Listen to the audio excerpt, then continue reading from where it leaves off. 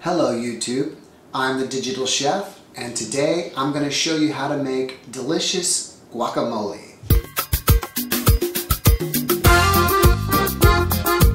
Okay YouTube, this recipe is going to make enough for about uh, three to four people for my beautiful wife and my handsome boys. So let's show you all the ingredients. Two avocados. You need a slice of this onion and we'll finally chop that. One half lemon, one slice of tomato and then we'll finally chop it, and salt and pepper. When you choose your avocados, you want to make sure that they're soft. And how you can test this is you grab one from the store and you lightly push into it. And if it feels hard as a rock, it's not ready. If you push in it and it just collapses, it's too ripe. I like to prepare the guacamole in this thing called a molcajete. It's made from basalt rock, it's very heavy, and it's the Mexican version of a mortar and pestle. If you don't have one of these, it's no problem at all. You can put all your ingredients inside a bowl and smash it with a fork.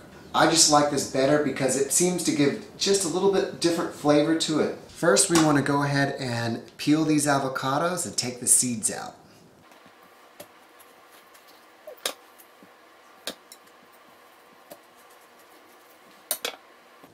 Alright, you take the seed out and then you scoop the avocado into the molcajete.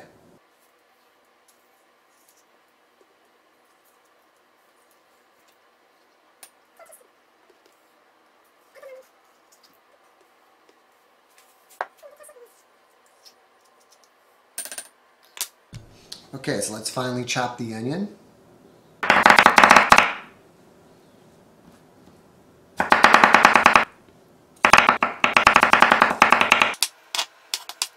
Let's put that in the molcajete.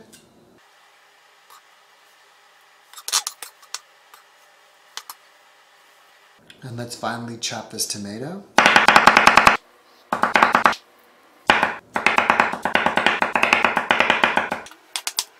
And let's put this in the molcajete too. All right, we'll squeeze in about half of our lemon. Uh, you want to do this to your taste. You may want to put a half of a lemon. You want to squeeze maybe even about a quarter of a lemon. And try not to get the lemon seeds in the mixture.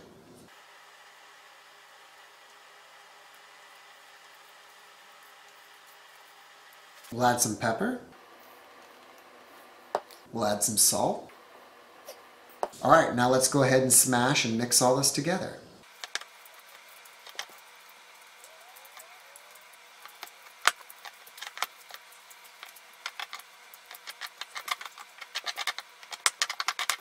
Okay, so you mix this till it's creamy, not lumpy. One side note, if you don't have a molcajete, you go to your local Mexican grocery store and you can pick one up. They're fairly inexpensive.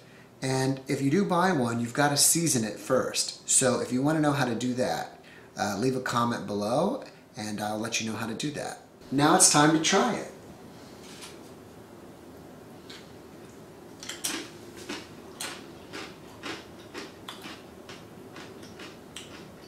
嗯。